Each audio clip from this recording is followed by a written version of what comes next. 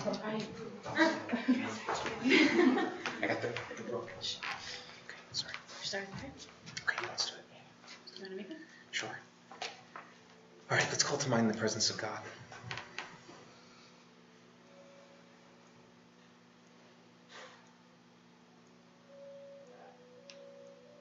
Thank you, Lord, for all, for all your gifts, especially the gifts of this day.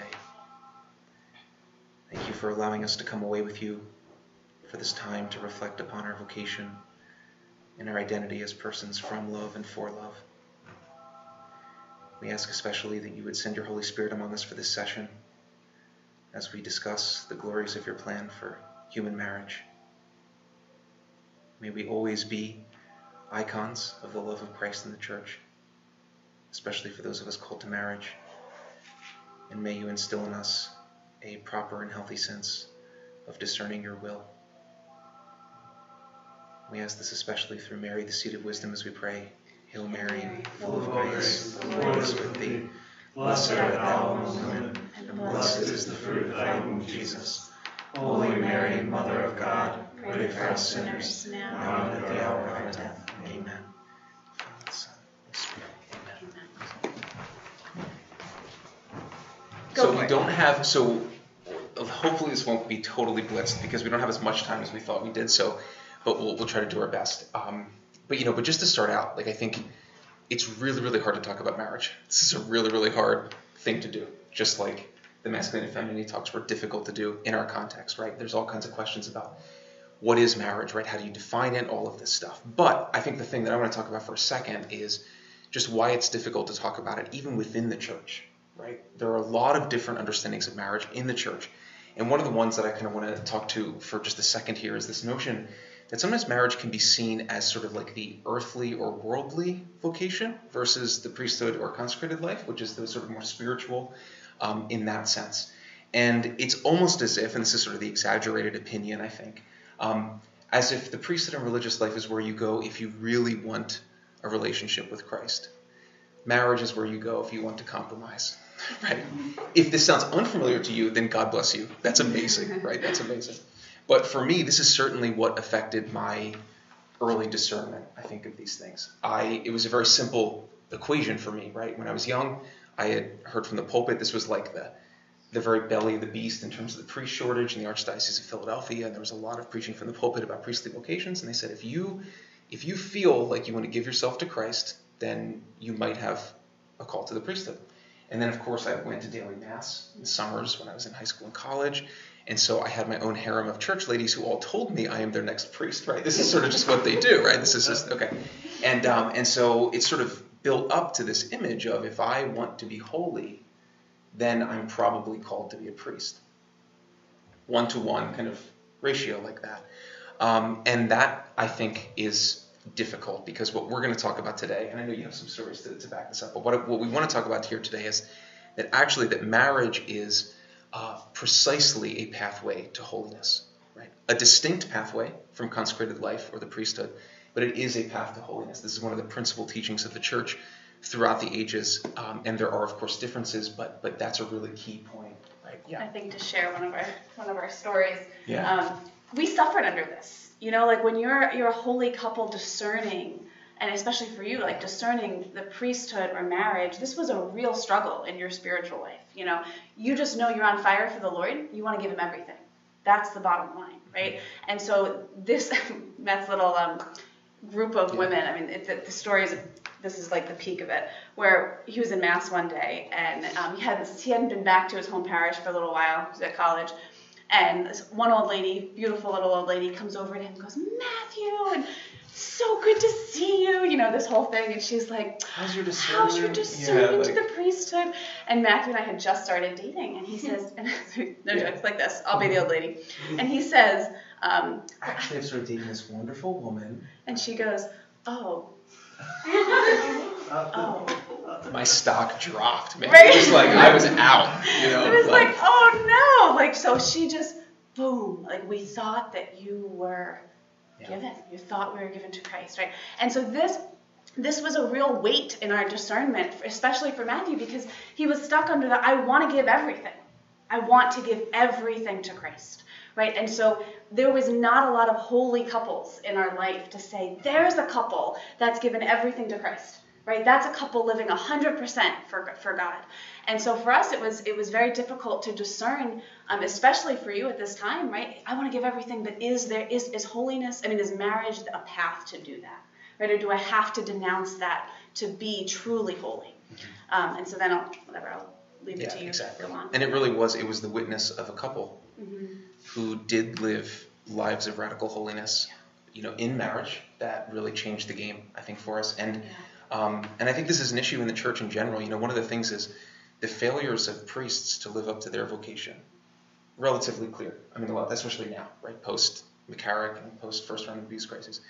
But what about the number of marriages that maybe don't live up to the vocation for holiness mm-hmm. in their marriage? A lot of times it's more private. It's a more private failure, you know, yeah. that kind of thing. It's just a difficult thing in general um, in that way. So when we talk about marriage here, I think we're talking about marriage in the context of, of what the church teaches about marriage as a vocation from the perspective of this is one way to live life in Christ, to use Paul's terms, right? To live life in Christ. And uh, I just want to give a little bit of an explanation about what sort of struck me in the church's teaching uh, about this that sort of opened up these pathways to maybe more proper discernment. Exactly. Namely, that for every Christian, every Christian is baptized, right? Every Catholic Christian, and that's sort of the gateway to the rest of the sacraments. Baptism is the number one thing. It's what takes you from the clutches of the devil and brings you into divine sonship. You receive now the inheritance of God as a son in the Son, right? And as a baptized Christian, you're received into God's love in this way, and then you are called to love likewise.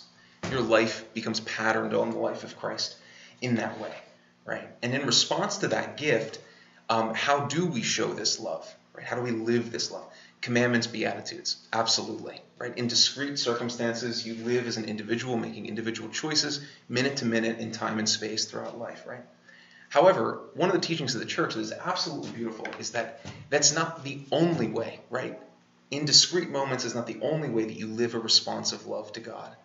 There's also a responsive love that takes the shape or the form of life itself, right?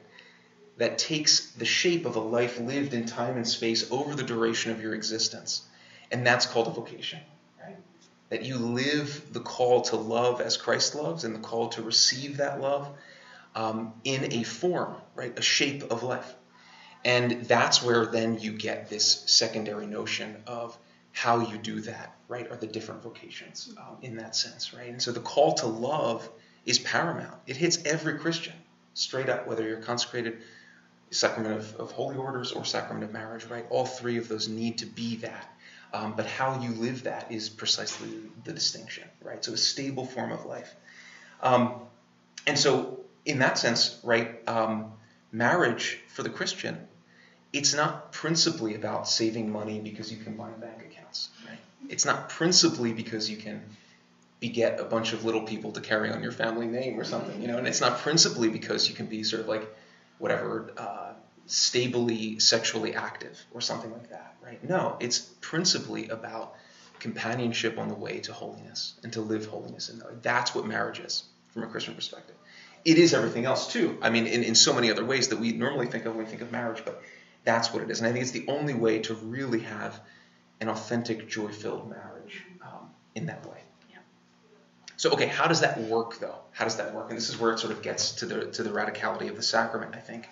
Um, what's what's the definition of a sacrament? Father Lieshout talked about the Baltimore Catechism, but what, what's the definition of a sacrament that we're all like used to hearing? If you've been in an instrument and sign.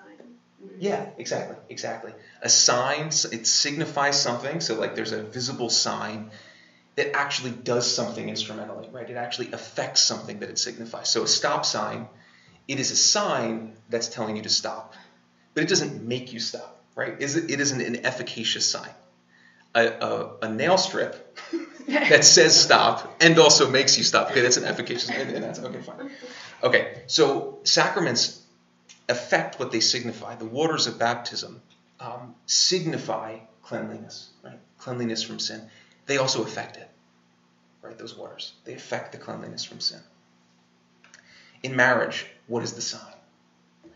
The sign, of course, is the visible love of the spouses, right? It's the consent, the marital promises made to one another. But what do they signify? What do they efficaciously signify?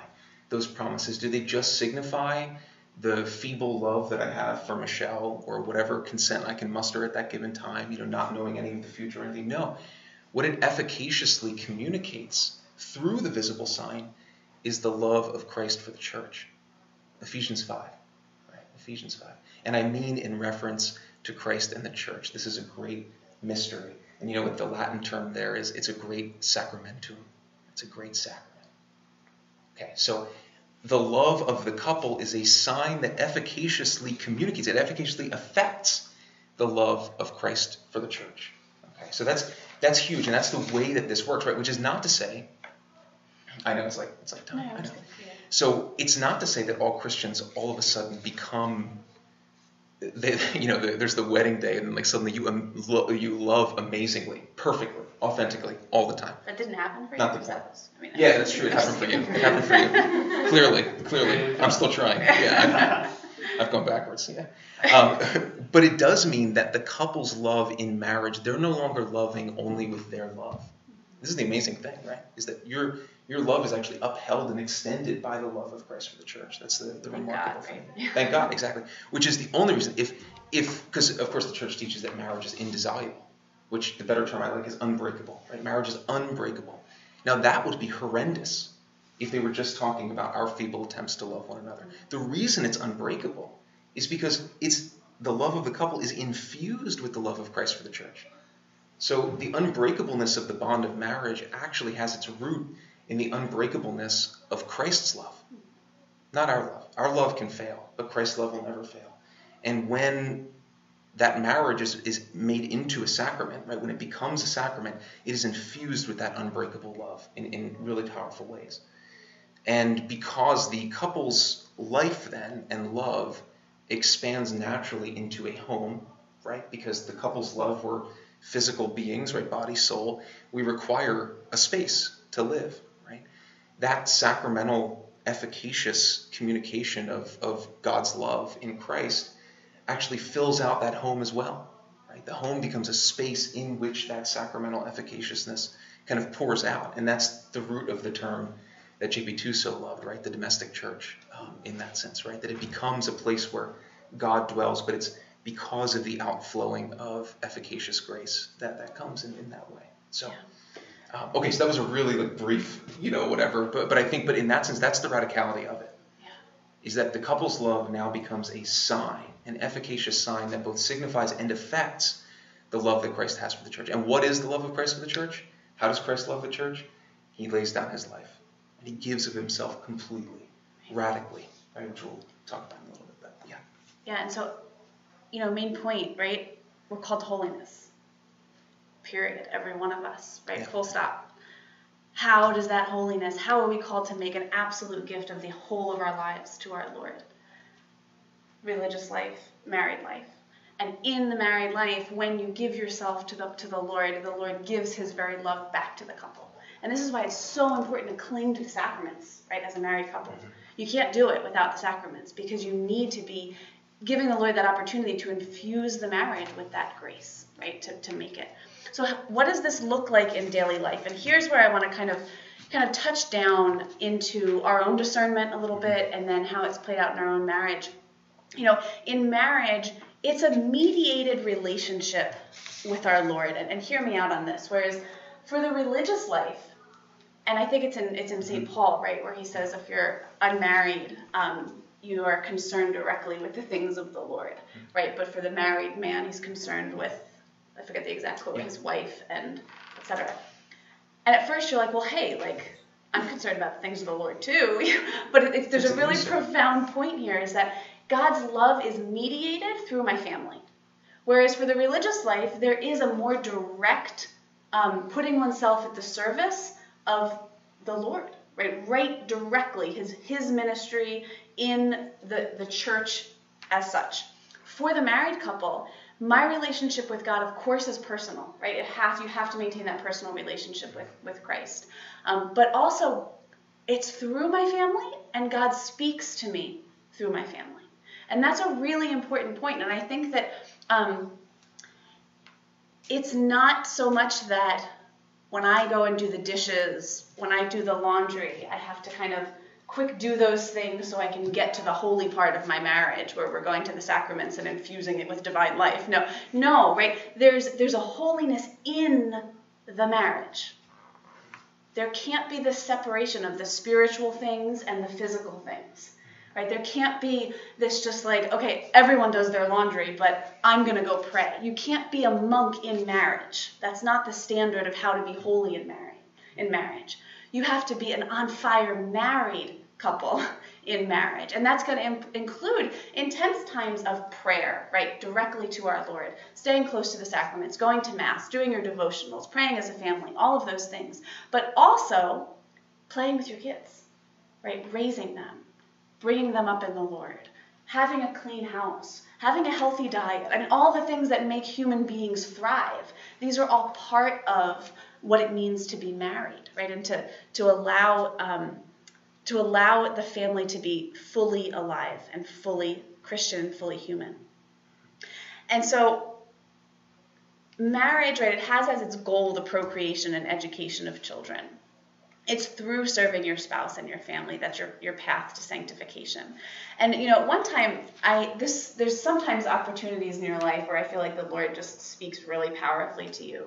And when I was I was a nanny for about 12 years before I um, entered the vocation of marriage, so I got to see a bunch of different families. You, the nanny's weird, right? You just get like plopped down into the middle of someone's family life, and you're just like observing, and it's like really interesting. It was good But- for me because it was like tryouts. I got to see her with kids. and then, and then, yeah, so. tryouts, yeah. So there was one family in Pennsylvania when I was in college, and they had holy Catholic family, five or six kids.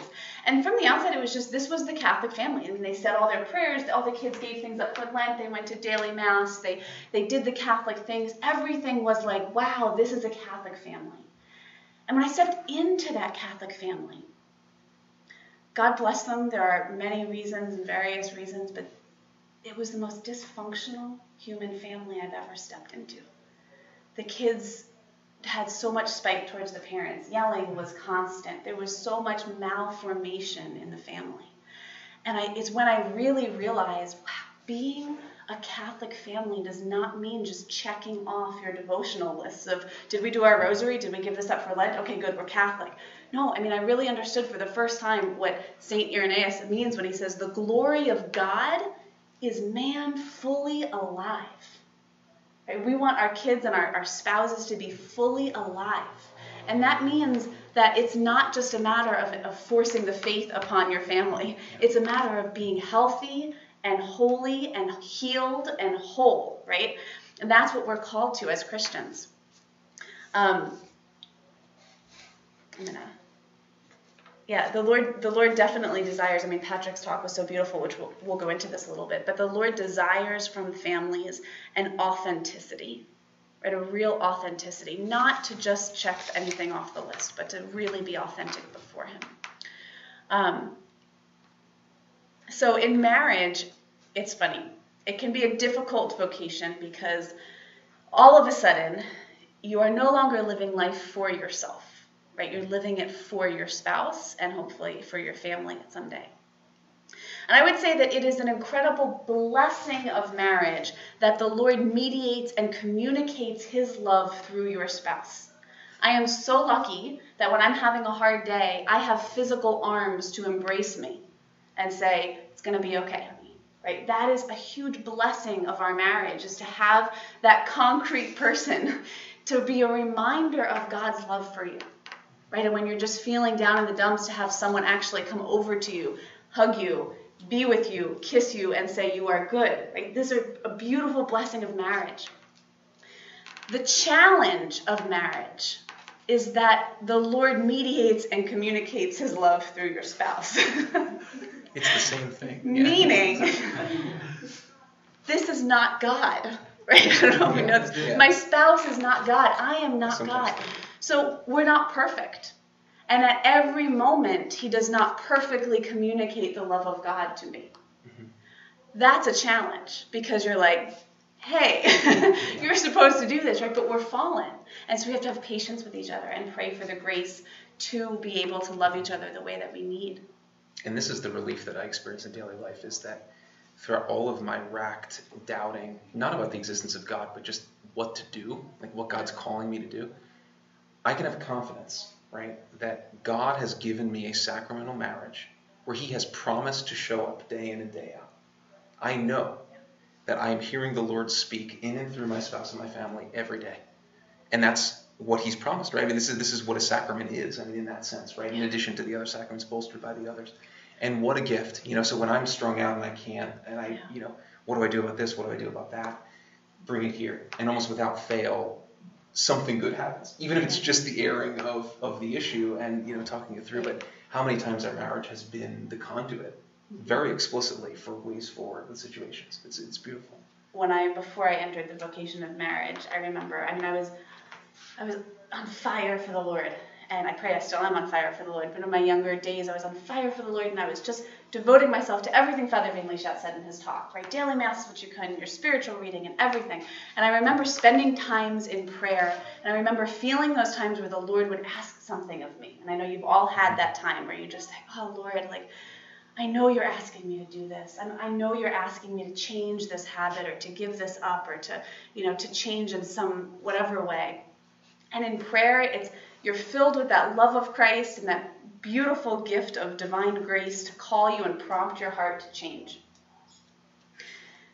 I would argue that it's a lot easier when the Lord brings you something to change than when your spouse brings you something to change. right? He doesn't always go, honey, you're so yeah. wonderful. Sometimes it's, would you stop nagging at this? Would you not? Yeah. And I have to have the grace to say, is this the Lord? using my husband. He knows me. He sees me. He knows where I'm insecure. He knows where I'm stubborn. He knows all of those places and can say, you know, honey, stop. Don't do that. And what is my gut reaction? Oh no, I wasn't trying to blah blah blah. You know, you try to just hand up, right? But to actually say, Lord, this is the way you are working. This is you. And it's so easy to want to shut the other out, but to know that this is the way the Lord is working is when you are both clinging to the sacraments, right? Is that there's room for grace um, to come in. And that doesn't apply at all to any sense of emotional or physical abuse, right? There's no sense in which you yeah, say right. in marriage, oh, yeah, this is the voice of God, so I'm just going to take this or whatever. No. Right. In all fact, it's the, the very opposite reason exactly. It needs to be of God.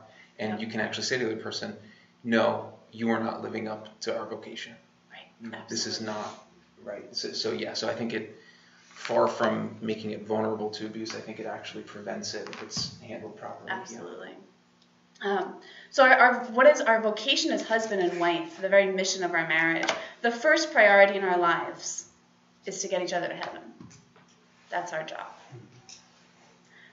I can provide a wonderful home. I can, you know, birth wonderful children. But if I don't Great make lasagna. I mean, it's worth it, right? if I don't make my goal, number one, getting my husband to heaven, um, then our marriage is, is not on the right track. Right? And so the goal is not first this perfect romantic dreamy relationship. That will come as a gift from seeking first the kingdom of God. Right? Seeking first the kingdom of God. We have to recognize that, you know, we're two fallen people that have come together in this marriage with wounds that need to be healed right? Habits that need to be changed, vices that need to be purified, and marriage is a purifying vocation. The goal of the married vocation, like I said, is to get your spouse to heaven. And I would add to be open to your spouse getting you to heaven, which might be the harder part. Um, there were some, we were really blessed with, with really great spiritual directors and mentors when we were dating, as I mentioned in the panel. And we were given some advice that has formed the foundation from the very beginning of when we were dating. And it's been kind of through and through the rock of our marriage. And we just wanted to share some of those things with you because I think that whether you know you're dating or you're discerning or you're engaged or whatever it is, um, these were things that we have clung to for 10 years and have proved to be beautiful and true time and again. And so we, our hope is just that these would be helpful to you in whatever way, wherever you are right now um, as you kind of consider this vocation. First and foremost, as I've mentioned before, keeping the Lord at the center of your marriage. if you try, and I mentioned this briefly to the ladies, if you try to place your hope for happiness in your spouse, you will crush them.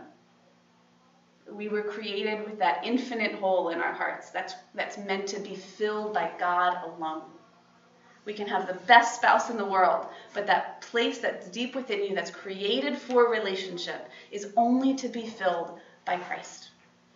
And if we take our eyes off of that and we, we place our hope in our spouse in that existential way, like you are going to be my satisfaction, then we're going to be disappointed and we're going to be hurt and we're going to actually crush our spouse because they are a finite human being and that is an infinite desire. Right? So to keep Christ first and foremost. And here, um, I just want to kind of stop here for a second and you know say that there is so much um, suffering in the Christian life. And I, I, know that you all have come here with your own baggage and your own stories and your own struggles. And, you know, what's really challenging, I think, in our culture is that when you have a relationship with our Lord, there can many times in our culture, for one reason or another, be this intense period of waiting you might have been ready to get married four years ago or six years ago, right? And the person has just not come along yet. And we might be saying to our Lord, What's the deal? right? And it can seem hopeless and it can seem like just this intense longing, and you're ready, and I know this is my vocation, and Lord, where are you?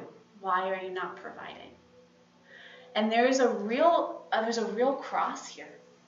Um, and what I would just encourage you is encourage you is just to know that the Lord is present in where you are right now. That you don't have to wait for your vocation to begin growing in holiness. Right? The Lord doesn't wait for that. He starts right now where you are with who you are and the situation that you're in. And he wants to bring you to holiness and draw him close to you right now. And so for us, I mean, the, the that personal relationship with Christ is so important because you are going to have to cling to that relationship whether you are suffering with waiting for your vocation that's not coming, whether you're suffering like we have been for seven years with getting married and saying, here's our dream family, and not being able to have the children that we've desired to have. Right? You think your vocation is going to play out in one way. And for us, we've struggled from infertility, and that's been a huge cross where you say, Lord, here we are in our marriage. Here we are open to you. Why? Why? And if we didn't know how to cling to our Lord previously and to know that there is fruit and, and grace in the cross and in suffering, then we would be a mess, right? You wouldn't know how to proceed. And so I just want to encourage you that no matter where you are, to know that the cross will never go away you will find another cross and another one and another one, and you will rise and, and you will die and you will rise over and over and over in your vocation. And that's because that's what it means to be a Christian, right? It means to embrace the suffering of our Lord and to rise again, and to embrace it and to rise again. And so I would just encourage you just to pray and be grateful for where you are, as hard as that can be if you're in a time of suffering, and to trust Trust that He has a plan, even if you can't see it. Right? Even if you can't see it, know that He has a plan and that it is good. And again, that's less of a vocational question, but more of a Christian point. I mean, in the sense that that's going to happen no matter what vocation you're in, yeah. what state of life you're in. Exactly. Exactly. Yeah. So okay, saying from there. So just to um, backpack, backpack, just a backpack to backtrack for those who just came in. Hey guys. Um, that we have just been given some some principles that have really served as the rock of our relationship over the past 10 years, and we just wanted to share some of those briefly with you. Um, first, I've said this, I'll just say it really briefly be humble in your marriage and know enough to listen to the Lord in prayer and through your spouse and through your children, because they will reveal to you all of the beauty and all of the ugliness of your soul. and you need to be open to their influence upon you. Think about that for a second. Marriage, you're sharing life with someone. Right? It's a horrific prospect. I mean, in families, like families, you know this from the families that you were raised in, but when you share life with someone, they can see you. you know, in ways that other people can't. You can hide really well if you're living in an apartment in Manhattan, you know, and you just go to work and then you come home, you go to work, you come home, you know. But uh, when you live with someone, boy, and you, and it's not even like you're, when we talk about this factor of marriage and the way that it helps grow in concrete holiness and virtue, um, it's not like the one couple is trying to find things in the other. You know, like Michelle Oh, doesn't no. even look for things. They're just that They're just obvious. there. right? They're just like that. You know? It will happen in day to day life. Yeah. You know, like oh, like you're just a jerk in this way. Like, and you may not have known this. You may not even know. But but this is a- you know, Right. and it just comes out that way. And that's why I think you were saying the first couple of years it's so hard in marriage, you know, because you're calibrating in that way and um, not just calibrating to one another. I think everyone knows that the whole Right, compatibility stuff. But it's really actually calibrating to a certain level of virtue that hitherto, at least for me, was not. I love there, that you just you know? used hitherto in a sentence. Wasn't that impressive? Yeah, Did you say no, that? no, no. That was really Thank impressive. I'm actually from the 1800s. Um, so the second point here is is this has been I think if I could isolate one point in all of this, Yeah. it's this one.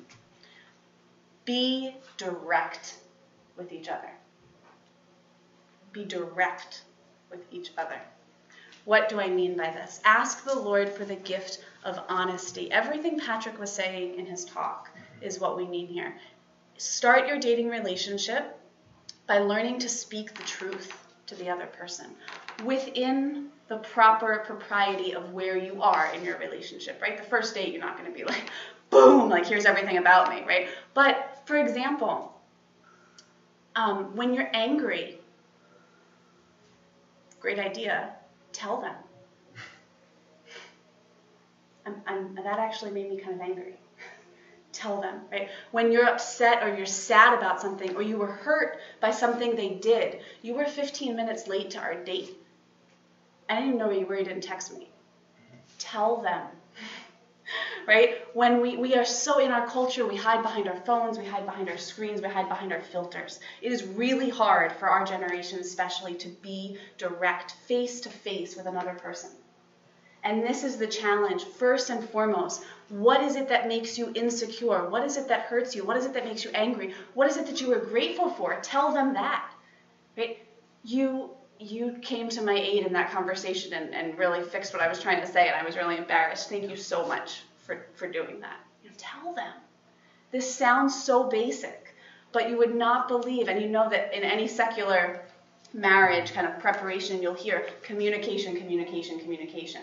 This is what we mean, but on a very Christian level, right? You are called to be seen and to see your spouse. So talk with them. And if I could kind of drill one thing, that would be it as, as direct as possible. And so, for example, there are many times where, and still to this day, this is a principle we use all the time, right? Where he'll say some, Matthew will say something to me, and we have defense mechanisms as human beings, mm-hmm. right? If you're insecure about something, you think you look stupid in front of another person, you think that you didn't know what you were talking about, you justify it. Oh no, I didn't. I didn't mean that. I just was like, no, no, I didn't. Well, your spouse is going to see you right through it. Hate to break it to you, right? And you're mm-hmm. like, oh crap, right? Take down the defenses and say, I was afraid that you were going to think I was dumb. Wow, whole new level of honesty, right? And it progresses as you are get closer and closer with that person. Mm-hmm. But just be able to be direct and to tell them exactly what it is that you're thinking and feeling and open that, not in a spiteful way, not in an angry way, but in an open way to say, can we get to the bottom of this? What happened here between us? Because every moment of, and we'll talk next about this, but every single moment of disagreement or of tension that you may have experienced in relationships in the past is an opportunity to learn the truth about yourselves. Mm-hmm. Every single moment of disagreement is an opportunity, even if it's over something as stupid. One of our fights was like, what's in a taco versus a burrito versus an enchilada? What makes them different? Very right? difficult question. We you really have needed to. I mean, that's like what, what, what are the fine differences there? Difficult. So even in those moments when we were like, well, no, that's not what I think, we realized, well, hold on, what's going on? What, what what's going on? Right? There's it's something. not about the taco. It's about what I, I was feeling insecure because you were saying, get to the bottom of, of who you are, and this requires self-knowledge, right? And so that is a prayer I would ask you to pray to our Lord is teach me who I am, and everything that Patrick was saying, all of those the ladder of intimacy and all of those things. Take all of that seriously. This is really the key in marriage to being authentic with each other. I'm gonna pause there. I think you had a question. Just like in those moments, Yeah. I, I, I, I used to be in a long-term relationship and like during how humbling has it been for you guys like over your marriage because that's the one thing like uh, in the core of that is like what i found was just like it always comes along with pride Yes. and like this just this like inability to just let it go kind of thing so what's that what's that done like for you guys being married So if I can speak to that first and then Yeah, you yeah, yeah, go. please, yeah. one of the things that, um, and I'll maybe it's part of this point here. Um, there's a distinction, I think, in any relationship with different disagreements or different points, is that sometimes it's a matter of compromise. Um, you like to go to bed at one in the morning. I like to go to bed at ten. Let's compromise. Eleven thirty. Maybe we can go to bed at the same time, right? That's that's a situation that calls for compromise. There are situations though that don't call for compromise. They call for what is the truth.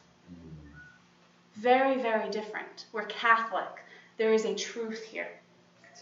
Right? And so sometimes, well, all the time, I know the truth and he doesn't. No, just kidding. just kidding.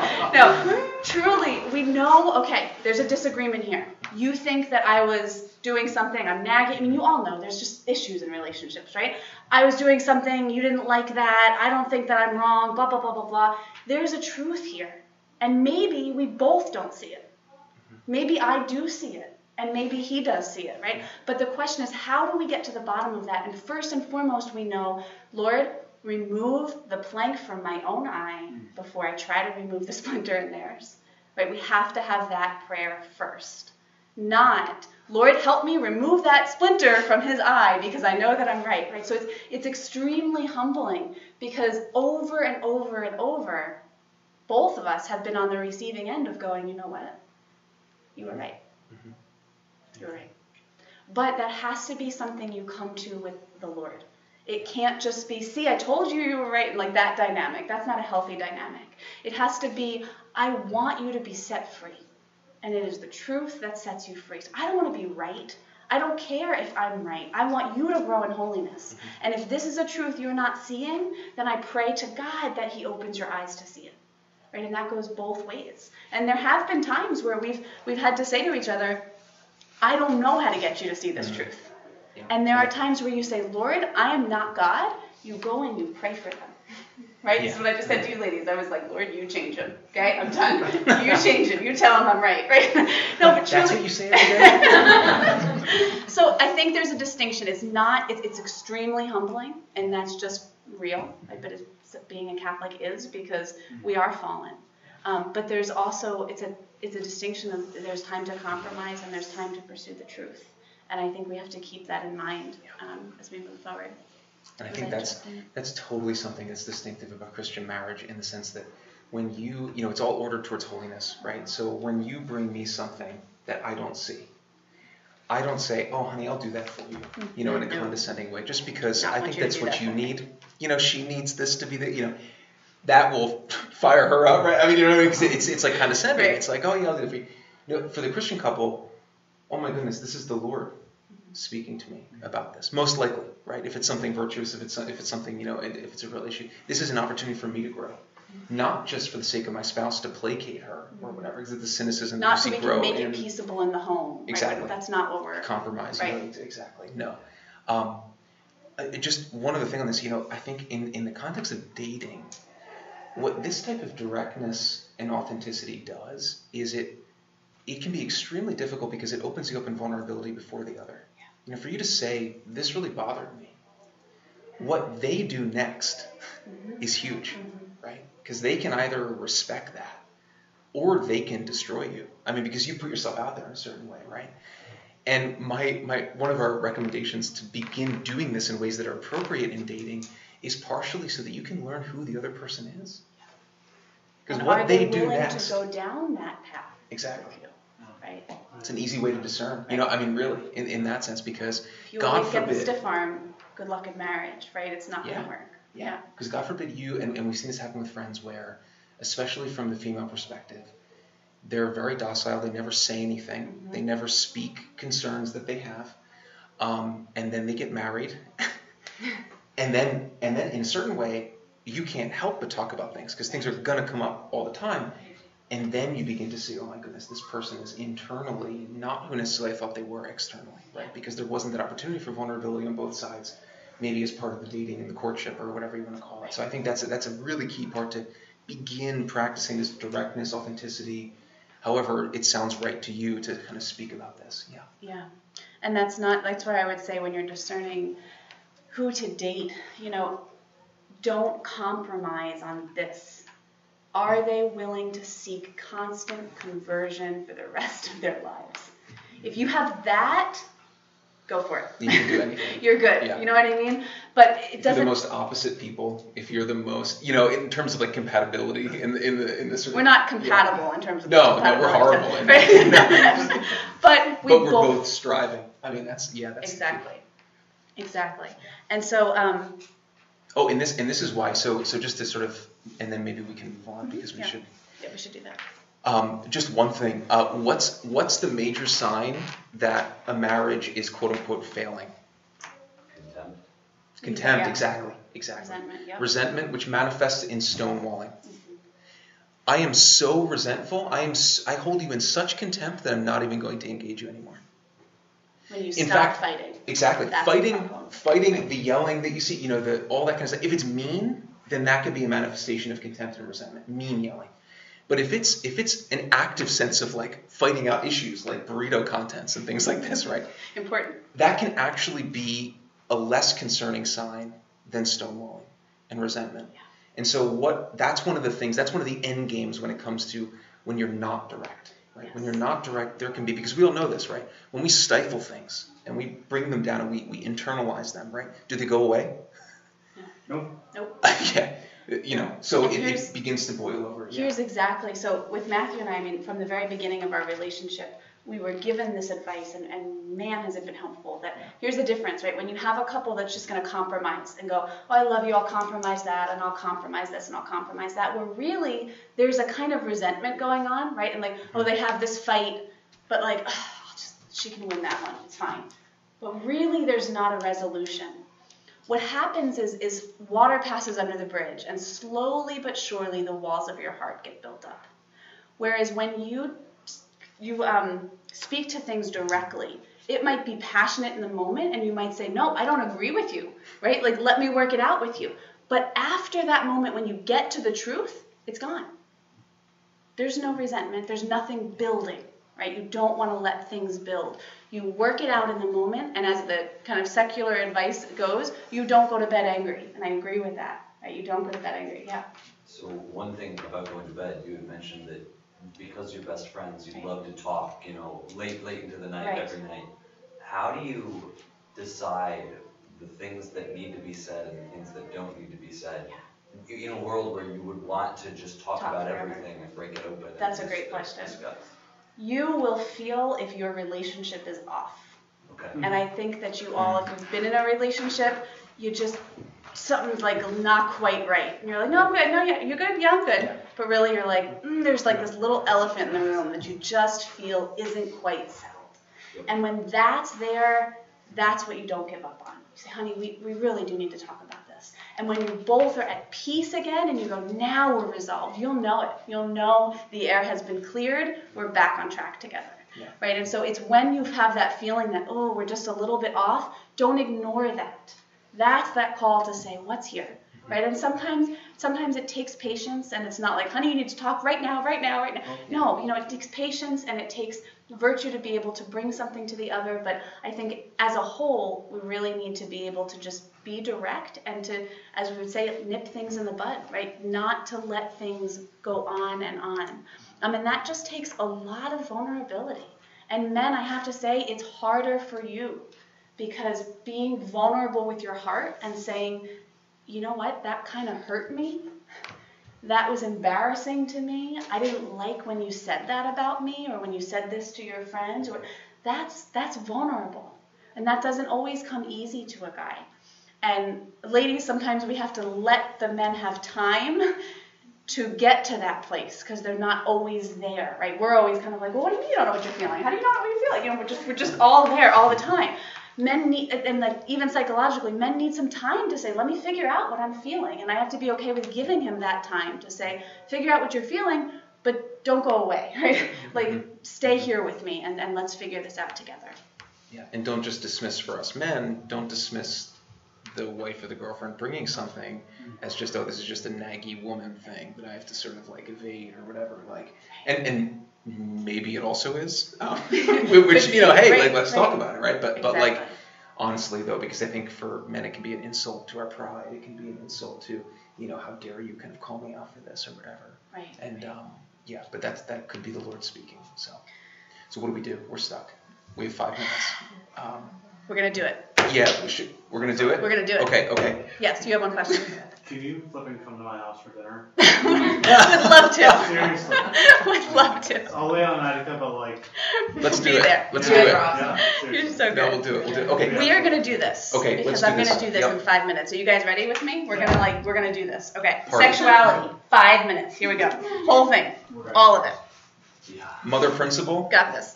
Mother principle. If the if marriage is meant to be an icon in the world, an icon, namely something that manifests in space and time, the reality that it signifies, right? If it's meant to be an icon into the world of the love of Christ, the church, Christ in the church, then sexuality, the way that we live sexuality in marriage, needs to live up to the standard of Christic love. okay. All of it. So we live in a culture where love is love is love is love is love. Hmm. What is love? Right? Christ, as a Catholic, we know Christ has shown us what love is. The way that he came to love us, he came to love us, and I'm gonna there's speakers who do this, and I think it's super helpful, came to love us in, and showed the characteristics of his love in four different ways. One was free. He freely gives himself to us, right? No one forces Jesus to lay down his life. I can lay down my life and I can take it up again, he says, right? Christ's love is free. His love is faithful. The covenant is forever and ever and can never be revoked, right? It is forever. It is faithful. It's free. It's faithful. It's total. Christ gives everything of himself, right? Every ounce of his blood is given to us. He holds nothing back. So it's total. And finally, because of those first three things, it's fruitful. The Holy Spirit is the Lord, the giver of Like, life, right? Baptism is new life. There is life that comes from God's love being given to the church. So, free, total, faithful, fruitful. When we stand at that altar on the day of our wedding and we commit ourselves to love that other person the way Christ loved the church, we are committing, in the words of the priest and the deacon, he asks you questions and says, Do you come here freely of your own accord? Love is free. If someone holds a gun to your head and says, Will you marry me? That's not love, right? we know that love has to be free. This is why the man goes in vulnerability and proposes to the woman. He doesn't force the woman.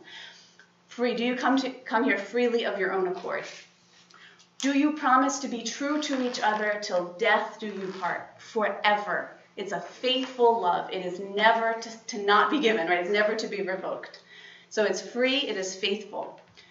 And it is total, right? It's through sickness and in health, it's till death do you part. There is no part of you that's not being given, right? We know instinctively if your husband says, or if your, your boyfriend or girlfriend says, you know, I love you always on Wednesdays and Thursdays, and Susie's on Fridays, and no, I need all of you, right? I need the whole of you, the total gift of yourself.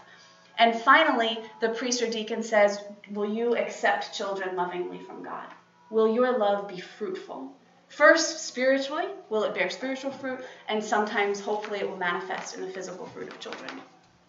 Free, total, faithful, fruitful love is the love you vow to on the altar.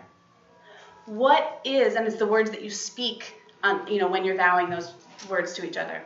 What is the wedding night? The wedding night is when you speak the words of the wedding vows with your body. So your love sexually, the sexual act between the married couple, has to be free. We know this instinctively, right? has to be faithful forever. We'll never abandon them. It has to be total, the whole of you, and it has to be fruitful. Not that you have a child every time you have intercourse, but that it's fruitful, it's always open to the gift of God's life. Hmm. In this context, we have come to see, and, and in our marriage we can bear witness to this, in our lives we can bear witness to this, that every single rule of the Catholic Church about sexual morality is there to safeguard love. It is there for our happiness. It is there for your joy to be complete.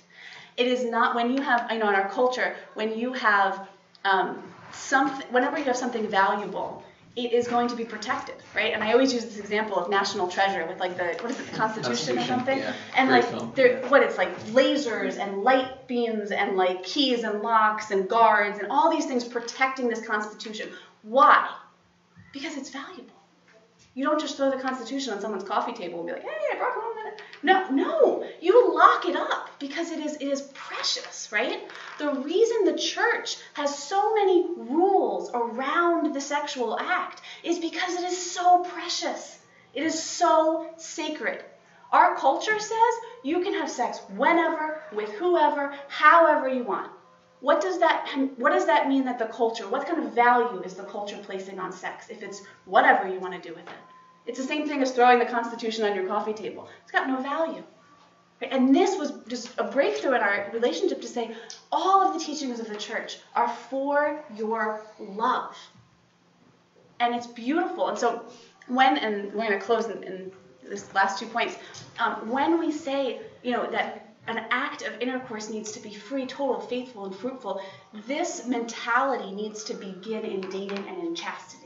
Right? Chastity is not just I'm not going to have sex. Chastity is is integrating your the sexuality of the person into the personal realm of your relationship. It's about loving the other person according to where you are. So chastity is going to look different when you're on your first couple dates. It's going to look different when you're engaged. It's going to look different when you're married. But the virtue of chastity persists throughout the whole of your married life, right? Because it's it's a beautiful way to integrate what your, your bodily sexuality. And so when we say, you know, for example, like this is how to tell, is the way I'm using my sexuality in accord with God's plan? Is it revealing the free, total, faithful, fruitful love of God, or is it not? Right? And you can say, what is an act of intercourse before marriage? Is it faithful, or does it fall short? What is an act of masturbation? Is it fruitful? Is it a gift? Is it total? Or does it fall short? What is a contracepted act of intercourse? We can say, no, it's not fruitful. It's not total. I'm not giving the possibility of motherhood to him. I'm holding it back. Right? Every single rule is meant to safeguard the love that Christ has for the church and wants to infuse that into your marriage. And I, I just challenge you to open your heart and anything that you question, read about, research, pray about. Because this is what we did in our marriage. In 10 years, I mean, we've never used contraception in our marriage. We've been faithful to the teachings of the church, and it is full of joy.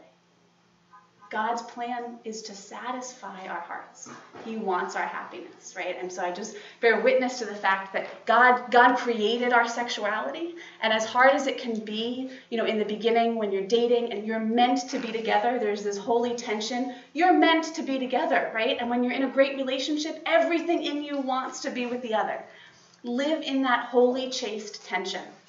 It's beautiful, it's holy, and it is so worth it to come to your wedding day and know that you have discerned in clarity and in, in, truth, right? You can see and you're not blinded.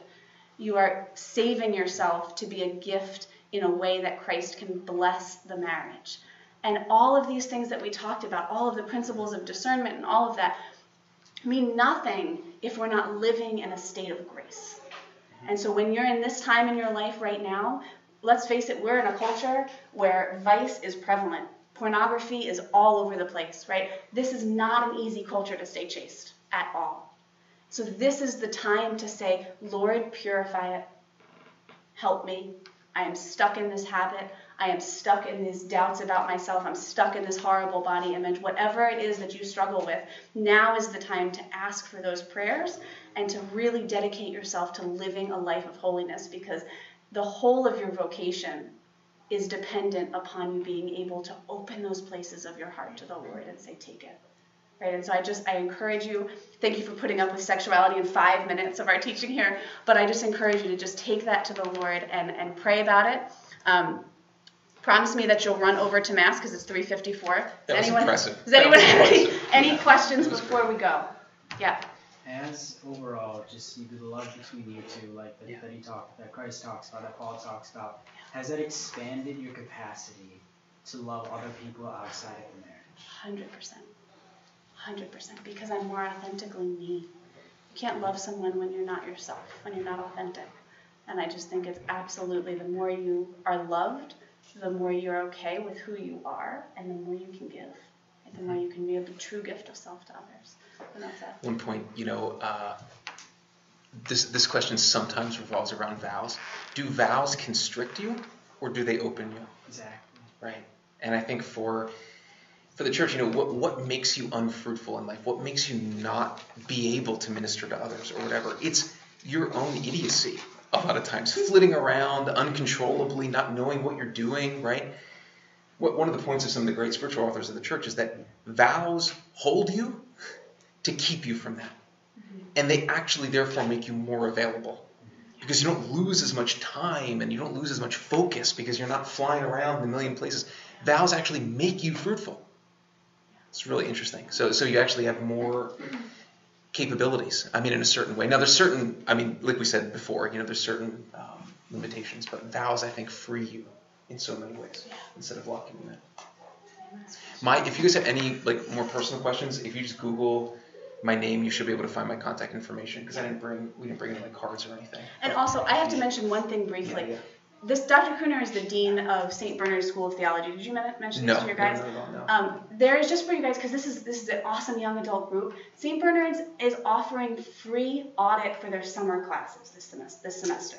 Theology classes at a master's level, you have to have no background in theology. You can just sit in an audit. There's courses on Mary, there's courses on the church, there's courses on the sacraments. It's an Mm-hmm. awesome community. Dr. Kuhner's teaching a bunch of the classes, and the goal of St. Bernard's is just to open it up and have people fed.